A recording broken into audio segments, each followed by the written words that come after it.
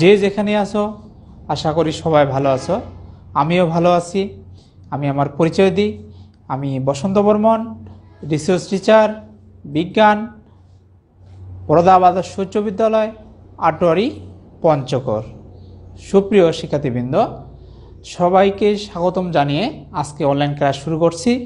আজকে আমরা অষ্টম শ্রেণির বিজ্ঞান বিষয়ে সপ্তম অধ্যায় নিয়ে আলোচনা করব। সপ্তম অধ্যায় হচ্ছে পৃথিবী ও মহাকর্ষ। পৃথিবী ও মহাকর্ষ। সুপ্রিয় শিক্ষার্থীবৃন্দ, আজকে আমরা পৃথিবী ও মহাকর্ষ এই অধ্যায়ের মহাকর্ষ, অভিকর্ষ, মহাকর্ষ সূত্রের ব্যাখ্যা করব। সুপ্রিয় শিক্ষার্থীবৃন্দ, যে মহাকর্ষ কি অভিকর্ষ কি কোথা থেকে আসলো, কীভাবে সৃষ্টি হলো, এগুলো সম্পর্কে আমরা জানব। পদার্থবিজ্ঞানের মহাবিজ্ঞানী স্যার আইজাক নিউটন একদিন তার গৃহে গৃহে তার বসে বই পড়ছিলেন। তখন এই আপেল গাছের সাথে বসে বই পড়ছিলেন। তখন আপেল গাছ থেকে একটি আপেল মাটিতে পড়ে গেল।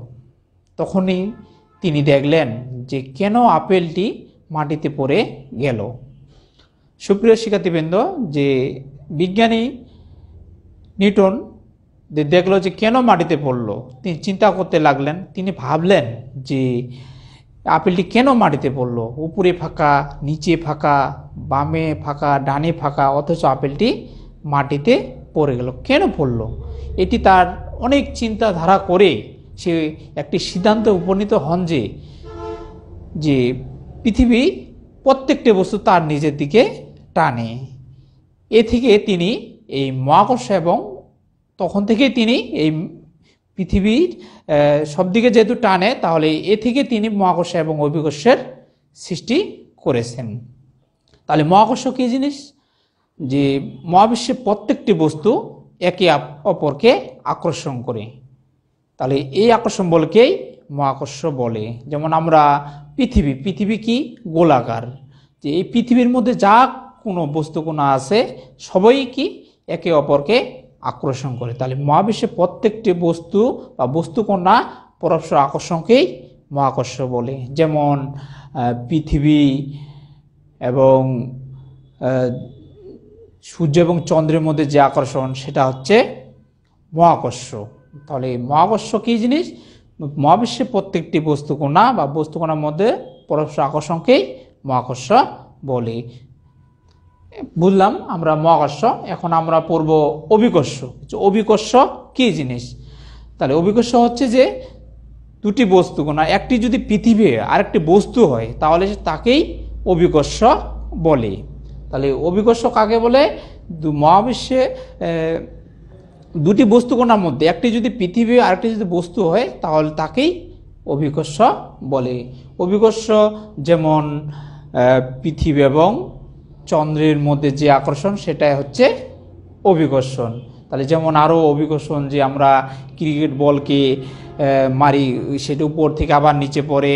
যেমন আমি একটা উপরে আম নিচে মাটিতে পড়ে যায়, কেন পড়ে যায়, এগুলো বিষয় নিয়ে হচ্ছে অভিকর্ষ। তাহলে আমরা মহাকর্ষ এবং অভিকর্ষ সম্পর্কে জানলাম। এখন আমরা পড়ব মহাকর্ষ সূত্রের ব্যাখ্যা। মহাকর্ষ সূত্রের ব্যাখ্যা, বিজ্ঞানী স্যার আইজাক নিউটন ষোলোশো সপ্তাশি সালে বিভিন্ন গ্রহ, উপগ্রহের উপর পর্যবেক্ষণ করে তিনি একটি সূত্র ব্যাখ্যা করেছেন ষোলোশো সপ্তাশি সালে। এই সূত্র সম্পর্কে আমরা এখন ব্যাখ্যা করব। মনে করিলাম যে দুটি বস্তু, দুটি বিন্দু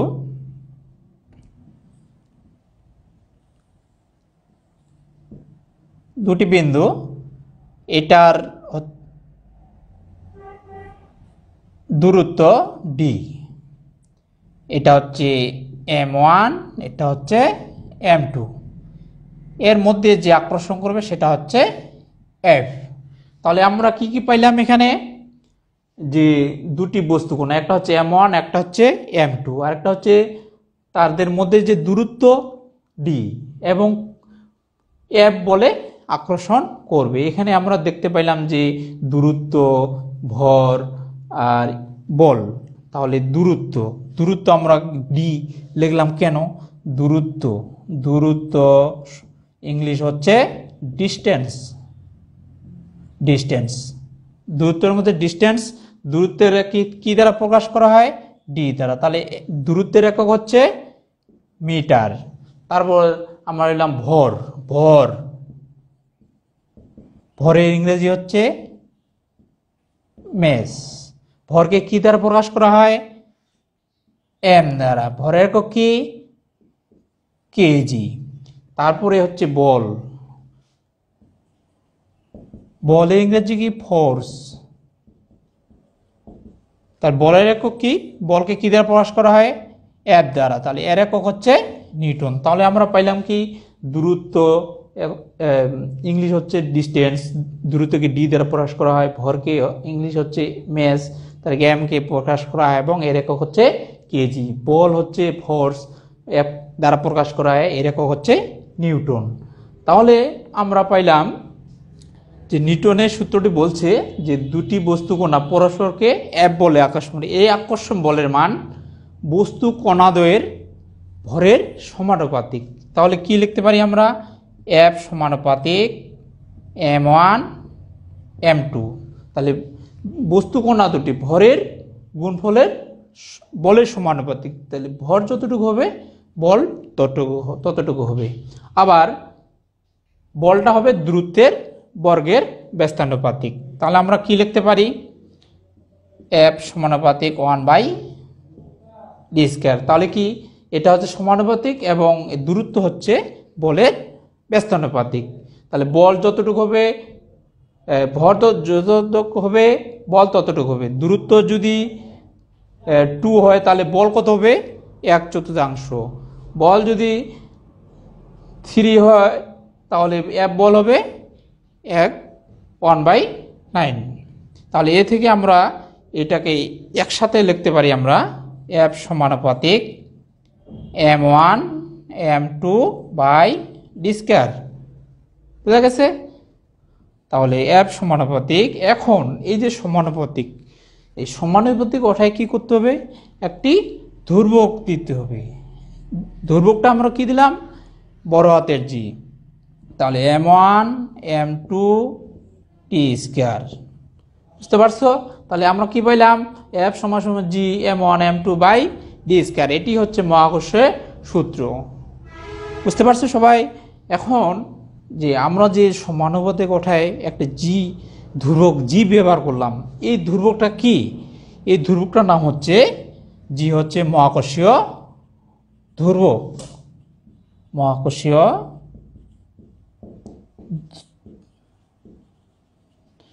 কি নাম হচ্ছে? মহাকর্ষীয় ধ্রুবক। এই ধ্রুবকের মান একটি নির্দিষ্ট আছে। এই মানটা হচ্ছে six point six seven three into ten to the power eleven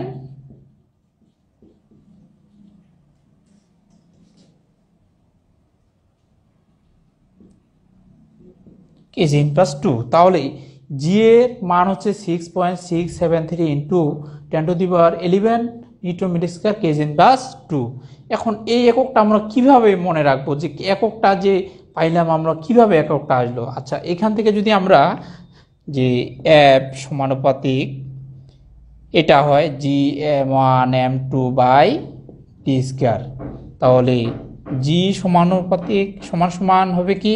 F D whole square M one, M two. বুঝা গেছে? তাহলে এফ এর একক কি ছিল এখানে? নিউটন। ডি এর একক মিটার। তাহলে মিটার স্কোয়ার। নিচে নিচে হচ্ছে এম ওয়ানের একক কি? ভরের একক কেজি গুণন কেজি। তাহলে কত হচ্ছে? Newton metre square. নিচের জিনিস উপরে গেলে কি হবে? ইন মাইনাস হবে তাহলে এইটা পাইলাম আমরা জি এর একক newton newton metre square kg বাস টু তাহলে সিক্স জি এর মান হচ্ছে six point six seven three into ten the power eleven newton metre kg bus two তাহলে পাইলাম না? ওকে বুঝতে পারছ সবাই? আচ্ছা তাহলে কি পাইলাম আমরা? সূত্র পাইলাম বল, ভরের সমানুপাতিক, দূরত্ব, বলের ব্যস্তানুপাতিক। তাহলে এফ সমান সমান G M one M two by D whole square এখান থেকে পাইলাম আমরা জি পাইলাম জি হচ্ছে একটি মহাকর্ষ ধ্রুবক জি এর মানটা পাইলাম six point six seven three into ten to minus eleven newton square kg in bus two তারপরে আমার এককটা পাইলাম। তাহলে জিকে কি বলা হয়? মহাকর্ষ ধ্রুবক বলা হয়। আচ্ছা এখানে একটা প্রশ্ন যে মহাকর্ষ ধ্রুবক কেন বিশ্বজনীন প্রশ্ন অবশ্যই এখানে পাবো আমরা যে বিজিকে আমরা কেন মহাকর্ষ ধ্রুবক বলা হয়। যে মহাকর্ষ ধ্রুবক শুধু ভরের এবং দূরত্বের উপর নির্ভর করে। জি এর মান, এর কারণ হচ্ছে কেন বিশ্বজনীন কারণ বলা হয়? যে কারণ হচ্ছে যে বস্তু মাধ্যমের এবং ভৌত অবস্থার উপর নির্ভর করে না। পদার্থবিজ্ঞানের অনেক ধ্রুবক রয়েছে যেগুলো যে তাদের ভৌত অবস্থার উপর নির্ভর করে, তাদের প্রকৃতির উপর নির্ভর করে, তাদের প্রকৃতির আকারের উপর নির্ভর করে এবং তাপমাত্রার উপর নির্ভর করে, আয়তনের উপর নির্ভর করে। কিন্তু মহাকর্ষ ধ্রুবক শুধু ভরের এবং দূরত্বের উপর নির্ভর করে এবং মহাকর্ষ ধ্রুবক সর্বত্র সমান থাকে এবং সর্বত্র মান সমান সমান থাকে, কোনোখানে পরিবর্তন হয় না। এই জন্য জিকে মহাকর্ষীয় ধ্রুবক বলা হয়। তাহলে আমরা কি কি পাইলাম? যে মহাকর্ষ কি, অভিকর্ষ কি, মহাকর্ষ সূত্রের ব্যাখ্যা পাইলাম। ঠিক আছে? বুঝতে পারছ? যে সূত্র পাইলাম যে জি সমান সমান F D square M one by M two তাহলে এই সূত্রটা হচ্ছে মহাকর্ষ সূত্র। জি এর একটি, এটা হচ্ছে নির্দিষ্ট মান এটা আমরা জেনে নিব যে এটা মনে রাখতে হবে যে জি এর হচ্ছে একটি নির্দিষ্ট মান আচ্ছা এখন যদি আমরা এই সূত্র দিয়ে যদি এখন অঙ্ক করতে বলে যে অঙ্কটা এমন যে দুটি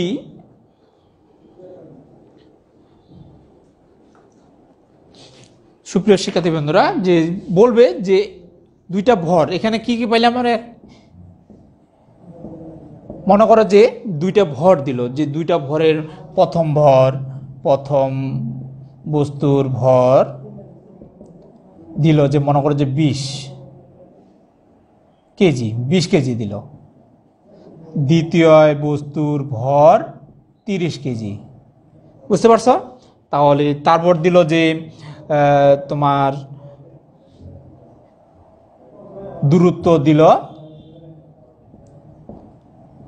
দশ মিটার।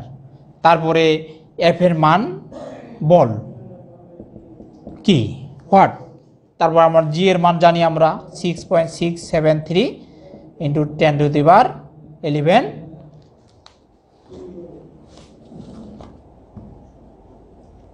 তাহলে নিউটন বুঝতে পারছ? তাহলে আমরা এই সূত্র প্রয়োগ করতে পারব এখন। এই সূত্র লিখব। তাহলে কি কি মান দেওয়া আছে? এইভাবে মান দেওয়া হয়েছে। প্রথম বস্তুর ভর বিশ কেজি, দ্বিতীয় বস্তুর ভর তিরিশ কেজি, দূরত্ব টেন মিটার, বল এফ হট এফ মান বের করতে হবে। তাহলে জি এর মান six point six seven three into ten the power minus eleven newton metre square kg bus two তাহলে আমরা পাই আমরা পাই, তাহলে কি সূত্র পাইলাম? এফ সমানুপাতিক G M one M two square, এই সূত্র জানি, তাই না? এটা হচ্ছে কি, তার কি? মহাকর্ষ সূত্র। তাহলে মান বসাবো আমরা জি এর মান কত? Six point six seven three into ten to the power eleven M ওয়ানের মান কত? বিশ। এম টুর মান তিরিশ। তাহলে ডি এর মান কত? দশ। তাহলে কত আসবে? Six point six seven three ten to the power eleven তাহলে কত হচ্ছে? বিশ ইন্টু তিরিশ ইন্টু একশো। তাহলে এখানে শূন্য শূন্য কাটে দিলাম। তাহলে তিন দুগুণা six seven three into ten to the power eleven গুণন সিক্স এটার সাথে এটা গুণ দিলেই আমাদের মান চলে আসবে। তাহলে বলের একক কি? এফ এর মান পাবো আমরা। বলের একক হচ্ছে নিউটন। তোমরা আশা করি সবাই বুঝতে পারছ যে আমরা এইভাবেই বের করতে পারব। অ্যাপের মান এই ভরের মান দেওয়া থাকবে, দূরত্বের মান দেওয়া থাকবে, জিতের মান তো আমরা জানি। তাহলে বলের মান এখান থেকে আমরা বের করতে পারব অবশ্যই। আশা করি সবাই বুঝতে পারছ। এখন তাহলে আমরা কি পড়লাম এখানে? যে মহাকর্ষ কি, অভিকর্ষ কি, মহাকর্ষ সূত্রের ব্যাখ্যা পড়লাম। আজকে এই পর্যন্তই। তোমরা অবশ্যই আশা করি যে অবশ্যই পড়বা, এগুলো বুঝতে পারছ? আশা করি সবাই বুঝতে পারছ। এরপরে আমরা আরও পড়ব। আজকে ক্লাসে এগুলো পড়বা তোমরা। সবাই ভালো থাকো, সুস্থ থাকো। ধন্যবাদ। স্যার।